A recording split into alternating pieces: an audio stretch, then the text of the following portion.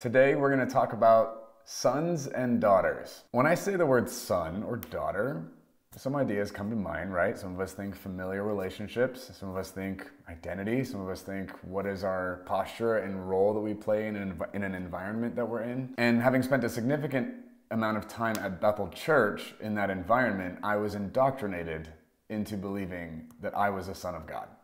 And I don't mean that word in a negative way. I mean, I was indoctrinated for sure, and in the best way. I learned at Bethel the value and worth that I possess and the power that's in my being because I'm in God's image. What a gift. I'm so grateful for what I learned there and what was instilled in me. Teaching a bunch of people that they're sons and daughters and then treating them as such are two completely different matters. How the people behave, they might not be conducting themselves as sons or daughters, but then also the organization or the system responding to them, I actually don't think can treat them like sons and daughters. I have not I have not seen an organization where a son or daughter is empowered and able to operate from that identity. Based on how institutions and organizations and systems are run, I don't think sons and daughters, I don't think they're able to function and operate as a son or as a daughter in a structure like that.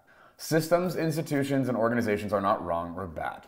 They're great, they're necessary. You can't be a son or a daughter in an organization. You can only be a son or a daughter in a family. So, as you're going about living your life and living from that place, you need to be very clear about what it is that you're part of. Whether that's in your church, your place of work, a team you're a part of, your actual family, any kind of place where there are people with any sort of organization, you want to be very clear are you part of an organization or are you part of a family? What is the ethos? What is the nature of this group of people? Being part of an organization isn't wrong or bad.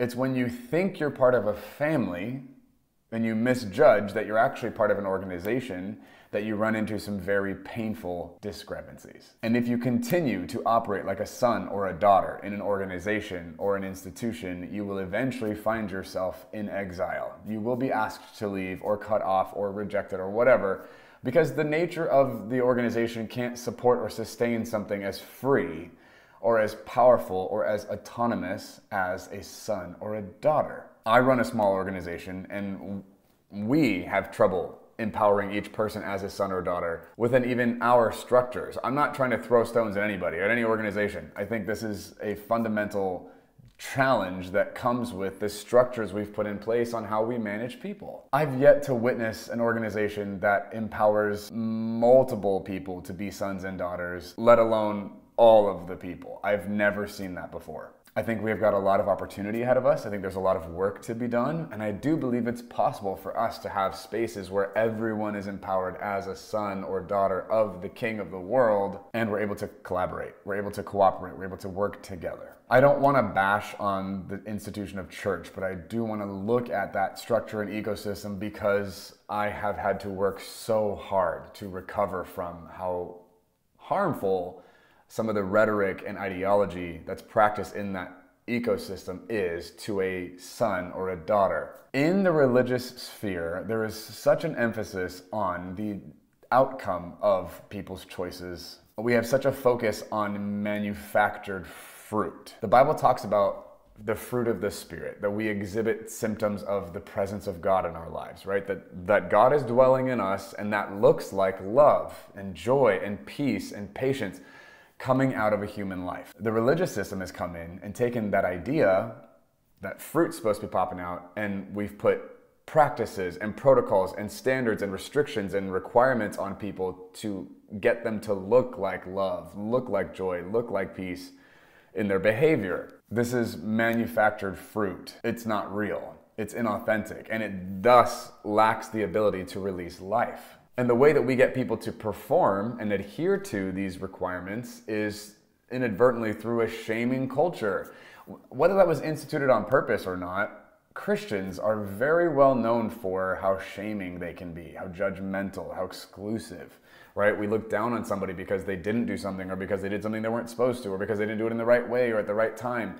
There's a lot of pressure and shame that's going on in the judgment of each other when we fail to measure up to the standard we've agreed in our culture. That's what you're supposed to look like, that's how you're supposed to behave. That shaming culture sterilizes authentic exploration within the church. In church culture, we don't uphold genuineness, curiosity, authenticity, we uphold adherence, which ends up producing not sons and daughters, but conformists, spectators, pretenders. We end up producing an ecosystem and a culture that rewards right behavior and punishes wrong behavior, irrespective of where it's coming from regardless of the spirit of the thing. The problem with this is we know that God is interested in the other thing. He doesn't care what it looks like. He's more interested in where is it coming from? Why are you doing that? What was the motivation? What was the spirit of it?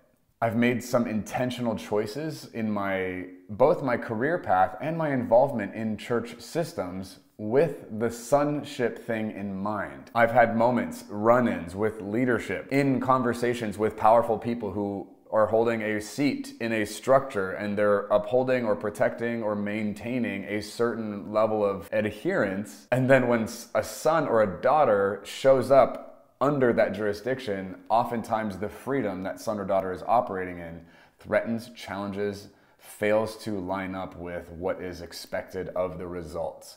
And so then we have this clash. And it's awkward and confusing, especially for the son or daughter in a system like that that thought they were part of a family, because this gatekeeper all of a sudden is starting to use pretty strong language and using spiritual principles and verses from the Bible and character and ethics, those things get brought into conversation to shame this person away from the behavior, to get them to feel bad, to get them to change their mind, to get them to back down, I know this sounds awful. I don't know that these gatekeepers are malicious people. I think that's what they know. I think that's what the culture has become. It's how you do a good job in one of those seats. Now, I don't want to make sweeping statements here. This is not every pastor. This is not every church leader. This is not every spiritual authority figure. This is not all of them always. That's not true.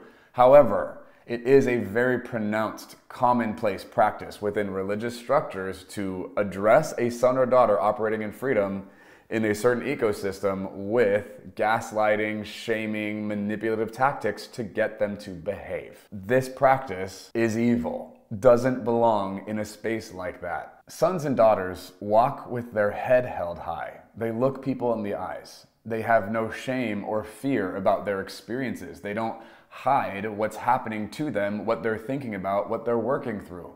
Sons and daughters walk in the light. They don't shrink back from the authentic expression of who they are or what their story is. I wonder why we don't see sons and daughters running around in the church. I spent the last 30 years in church. I don't see a bunch of sons and daughters. I see well behaved people. I see people who have taken really good notes. I see really good performers. I see people who know how to fall in line, know how to adapt to the culture. I don't see a ton of freedom, a ton of confidence, a ton of authentic expression or vulnerability as a way of life within that system. And this has to bother us. I mean, I, am sure it bothers us. It bothers me. This bothers church leaders, I'm sure. I don't think any of those people in their position are genuinely trying to create an ecosystem of performance. I don't think that's at the end of the day, the bottom line for their heart. I think that's what they've come up with and have learned to embrace and accept because of the nature of the organization. This is no longer a family. It's not an organism. It is a structure. It is an institution. It's an organization. And because of the nature of the thing, people must be managed accordingly. So I've made choices to protest, to say, no, I will not bow to this. I will not reduce what I'm hearing from God in my life and the story that I'm walking out and the person that I've been called to be and the message that's coming out of that. As much as I've personally wrestled with and fought that stuff coming out, I've had to say, no, I can't continue to adhere to this system and structure when the thing that's being sacrificed is the authentic voice of the Holy Spirit in my being. That is not acceptable. And to expect other people to do that is also not acceptable. Sons and daughters must be given permission and be invited into a family dynamic that allows them to be who and what they are freedom, authenticity, power. Imagine if people were genuinely empowered on this level to this degree, what would they come up with? What kind of things would we discover? Would it be messy? I mean, it's going to be messy regardless.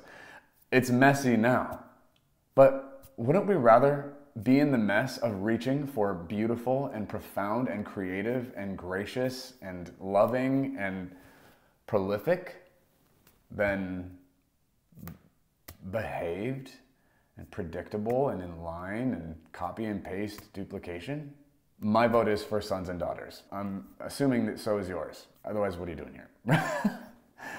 so, we've got to find a new way, forging ahead. We've got to hold the structures and systems that we've been subjected to accountable and demand that we do better. We've got to find better ways to creating culture and ecosystem and efficiency and prioritize relationship and the well-being of people and their lives over the results we want our organization to create. People are the priority of the kingdom.